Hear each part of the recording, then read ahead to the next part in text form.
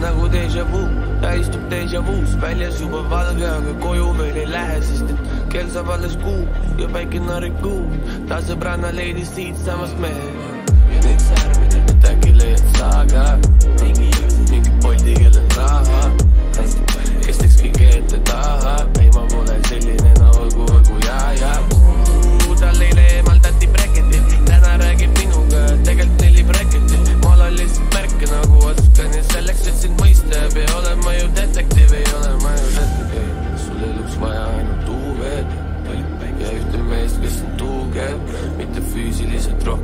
Vaimselt, kes hoiaks sind, poputaks ja laulaks terve suve.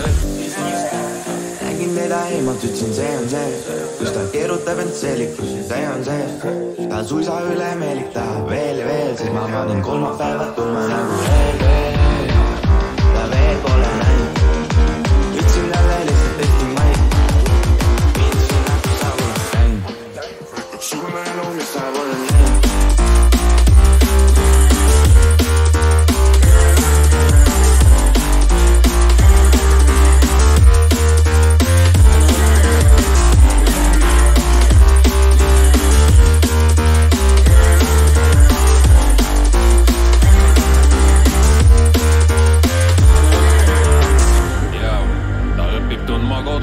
algust tegi Võrumaal ja lõpetas ta Koguvas. suve lõpus kodukülas oma asju klaaris, Vasseliinas ühes baaris. ta numbrile ma helistasin ühest grotost, kui olin üksi puhkusel, kui võitnud olin lotos. ta rääkis, et tal viimsel ajal mõte tulla linna, vaatab vaikselt üürikaid ja plaanib kooli minna. Tibu tahab olla Eesti Nokia, rikka mehe naine, kes on elustiili blogija, hoiab silmad lahti, tegeledes mõne hobiga. ma ütlesin, mul on praegu papid kinni aidata sul kolida. lihtsalt saada aadress, aadress ta on tänaseks stjuardess. kui kuuled seda lugu ja see elu sulle ei sobi, anna kiirelt teada, äkki saab ka minust maamees.